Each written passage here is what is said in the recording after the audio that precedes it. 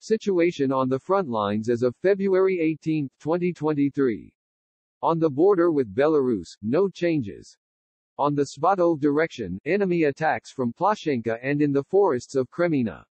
The fighting continues. On the Bakhmut direction, Katsaps managed to break through the defense south of Paraskoviivka, trying to drive a wedge between Yahidny and Berkhivka. They are also trying to advance to Dubov Vasilivka. In the city itself, most attacks are repelled, but not all.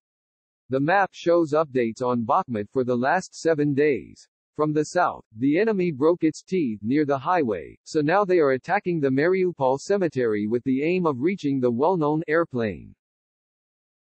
On the Avdiivka direction, enemy continues to attack along the Krasnohorivka-Vesel line. The situation is still stalemate. On the Zaporizhia direction, no changes. On the Tavria direction, no changes.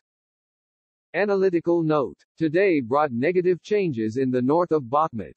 The enemy is using tactics of concentration in windbreaks and bypassing settlements, because under the threat of complete encirclement our troops have to leave the villages. This has been the case almost everywhere since the loss of Soledar. Of course, it looks unpleasant on the map, but it saves the lives of our defenders. And all the cries of Moscow roosters about boilers and cauldrons remain only their wet fantasies. The situation is difficult. The enemy reserves are being pulled up because the F asterisk asterisk asteriskers have an order to capture Bakhmut by February 24. We would like to mention the defenders of the southern face of the Bakhmut salient who have already accomplished a feat.